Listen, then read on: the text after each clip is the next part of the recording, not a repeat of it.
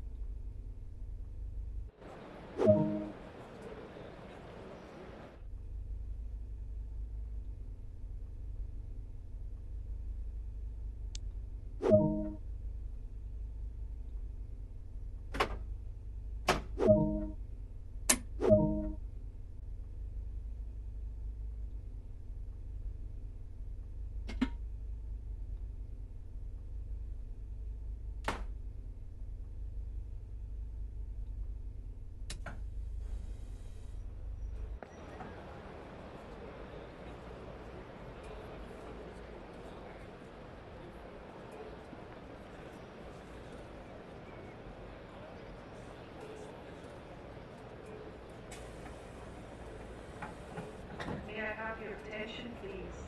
Closed circuit television and remote video monitoring is in use at this station for your personal safety and security.